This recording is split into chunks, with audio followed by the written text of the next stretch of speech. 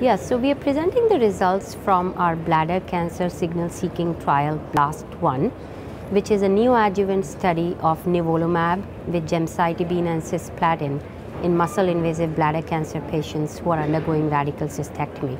This was a study that was conducted across four sites in the US and we enrolled 41 patients between February 2018 and June 2019 and the eligibility criteria was for patients with T2 to T4 and N1 solitary lymph node and no metastatic disease, urothelial cancer, who were candidates for radical cystectomy and were eligible to receive cisplatin.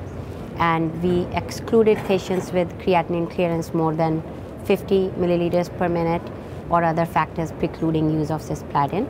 We treated them with four cycles of GemCis and added nivolumab on day eight of each cycle and after that the patients underwent radical cystectomy within six to eight weeks.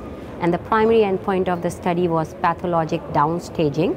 That is no more muscle invasion in the specimen. So anything T1 or below at the time of surgery. That was our primary endpoint.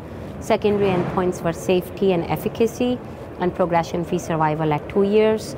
And we did a variety of correlatives uh, in this study including whole genome sequencing uh, molecular subtyping of the pretreatment tissues, immune profiling, PD-L1, CD8 levels, etc. And uh, those analyses are ongoing. So our preliminary results uh, show that the pathologic downstaging rates were 66% with this regimen and the regimen was safe and effective. There were no increased toxicities. Most of the side effects were traditionally what we see from chemotherapy. There were some immune related adverse events, but they were mild. None of the patients required steroids.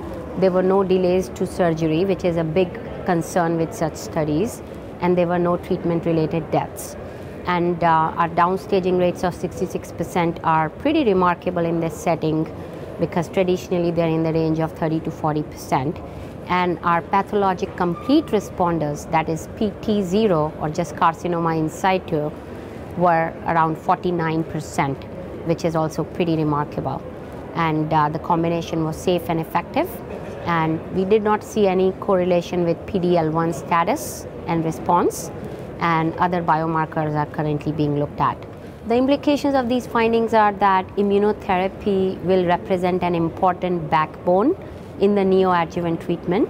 And there's already a phase three trial going on uh, which is looking at gemcitabine cisplatin randomized against gemcitabine cisplatin and nivolumab plus minus IDO inhibitor. So that is a phase three trial that will answer more important questions in a randomized fashion. In that study, the PFS and pathologic complete responses are primary endpoints.